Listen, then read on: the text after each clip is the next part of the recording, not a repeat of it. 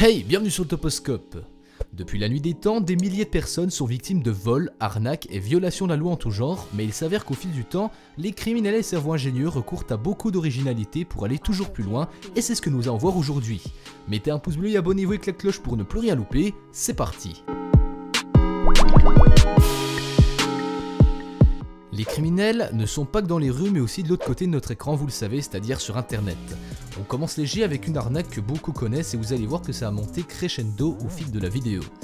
Vous connectez sur votre PC, vous checkez vos mails comme tous les jours et vous tombez sur un message visuellement bien arrangé. En somme, il est carrément tape à l'œil.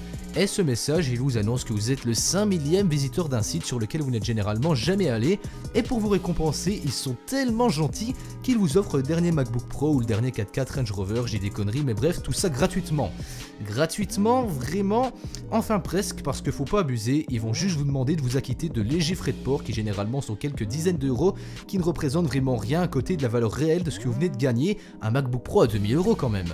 Et si vous tombez de arnaque, eh bien les amis, vous rentrez vos codes bancaires et attendez plusieurs semaines afin de recevoir votre cadeau, sauf qu'évidemment, vous la voyez venir, vous en doutez, ça n'arrivera jamais dans votre boîte aux lettres.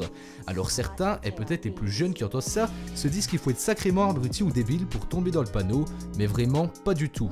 C'est tellement bien mis en scène et parfois c'est fait en usurpant l'identité d'une marque ou d'une personne connue en qui vous pouvez avoir confiance que beaucoup se font avoir, même s'il faut avouer qu'avec la croissance de l'informatique dans les ménages, c'est souvent les amateurs en la matière et par conséquent les personnes les plus âgés qui se font berner.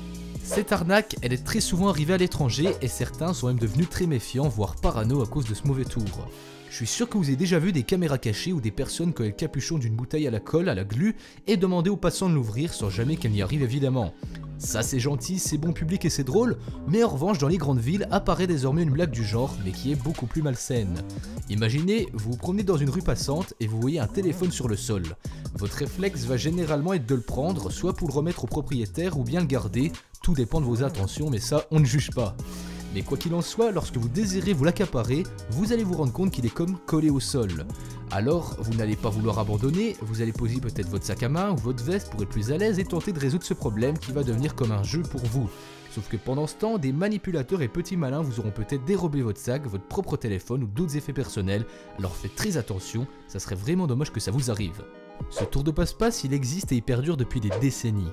Il prend souvent place dans des lieux publics où il y a énormément de monde, des très grands espaces, et pour le reste, vous vous faites avoir sans même le remarquer.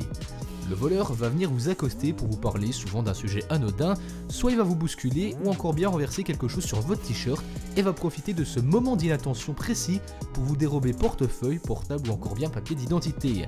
D'ailleurs, c'est juste un conseil, prenez-le comme vous voulez, mais j'ai regardé récemment un film plutôt cool qui montre un peu la vie de ces personnes-là, de tout le business que ça représente. C'est fait sous un ton très humoristique, ça s'appelle Diversion, c'est avec Will Smith, donc très bon acteur de renommée internationale, et vous pouvez le retrouver sur Netflix ou même en streaming pour les intéresser. Bref, ces personnes fonctionnent rarement seules et sont tout un groupe, voire même un énorme organisme de plusieurs dizaines de personnes qui quadrillent des zones quartier par quartier à des heures de pointe où il y a beaucoup de passages. Elles sont très malines et tout va si vite que vous êtes dupé en quelques secondes. Malheureusement, lorsque vous en rendrez compte, la personne sera déjà partie depuis bien longtemps. C'est petit, discret et bien utile en temps normal, mais ne ramenez surtout pas chez vous une clé USB trouvée dans la rue ou encore bien dans votre boîte aux lettres. En effet, si vous la trouvez les potes, que vous la ramenez et que vous êtes curieux au point de l'insérer dans votre ordinateur pour voir ce qui s'y trouve, il y a de fortes chances que vous soyez contaminé par cette dernière. En bref, même si elle apparaît comme vide et sans fichier sur votre ordinateur, elle est en réalité équipée d'un logiciel espion qui va aller sur votre ordinateur et récupérer toutes vos infos enregistrées, que ce soit vos noms, vos coordonnées bancaires, postales, etc. Et j'en passe. Si vous en êtes victime, mieux vaut aller porter plainte et bloquer vos comptes le plus vite possible, car c'est déjà arrivé en France à un couple dans les Pyrénées-Orientales, j'ai lu l'article, après il y a certainement plein d'autres cas répertoriés, et en plus pour être très franc avec vous, c'est un marché assez lucratif et juteux pour ceux qui le contrôlent, car la revente d'informations aujourd'hui ne fait qu'augmenter et gagner en valeur, et c'est pas les grosses entreprises de internet aux États-Unis de la Silicon Valley qui nous diront le contraire.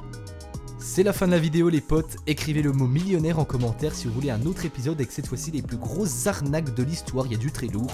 Mettez un pouce bleu pour m'encourager et abonnez-vous avec la cloche si ce n'est pas encore fait pour ne plus rien louper. Je vous dis à très bientôt, ciao ciao